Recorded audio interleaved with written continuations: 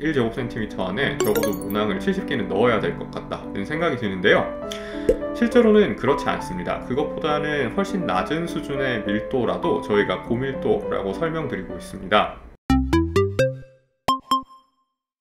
안녕하세요.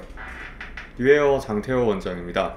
오늘은 제가 모발 이식을 할 때 소위 고밀도 이식이라는 게 어, 어떤 수준을 기준으로 하는 건지에 대해서 여러분들께 간단히 설명드리려고 합니다. 밀도라는 건 상대적인 기준이니까요.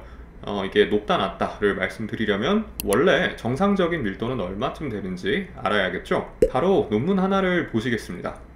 이 연구에 따르면 동양인들은 1제곱cm의 너비 안에 모낭 단위가 평균 71.78개 그리고 모발은 137개가 있었다라고 합니다. 이 연구대로라면 고밀도라고 얘기할 수준이 되려면 뭐 같은 면적 안에 1제곱cm 안에 적어도 모낭을 70개는 넣어야 될 것 같다는 생각이 드는데요. 실제로는 그렇지 않습니다. 그것보다는 훨씬 낮은 수준의 밀도라도 저희가 고밀도라고 설명드리고 있습니다.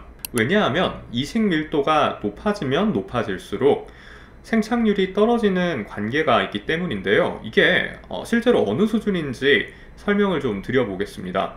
어, 2004년에 나온 연구입니다.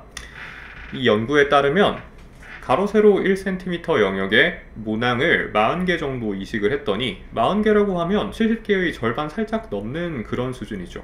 그런데 생착률이 78%가 어, 나왔다 라고 밝혔습니다.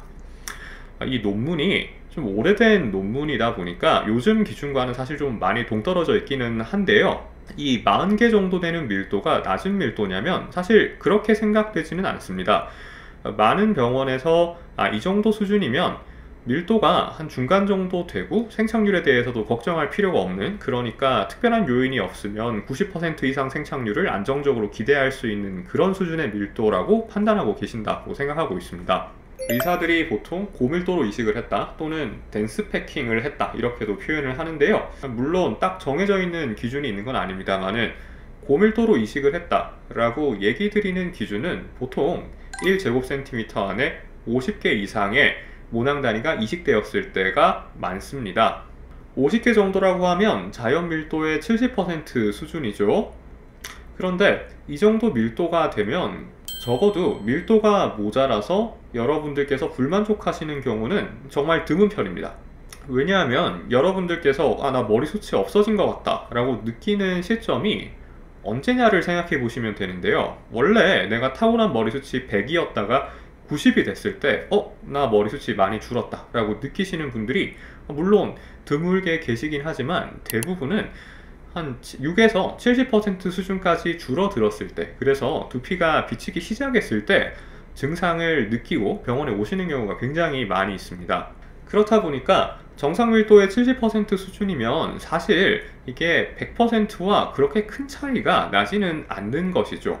게다가 저희가 후두부 모발을 채취해서 헤어라인 쪽에 이식을 했을 때 머리카락의 굵기 자체도 원래 앞머리에 비해 더 굵다라는 점 역시 감안을 하셔야 합니다.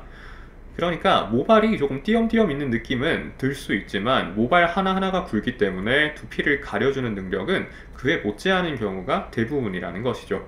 음, 가끔 모낭 상태가 정말 좋으시고 두피 상태가 이식하기에 적합하신 경우에는 1제곱cm에 50개 모낭 단위 이상의 밀도를 시도하는 경우가 없지는 않습니다만 어, 실제로 그런 경우 제가 자신있게 아 물론 생착률이 90% 이상 나올 거예요 라고 말씀드리기는 사실 조금 어려운 면이 있습니다. 그럼에도 불구하고 좋은 결과를 얻어 가시는 분들도 많이 계시고요.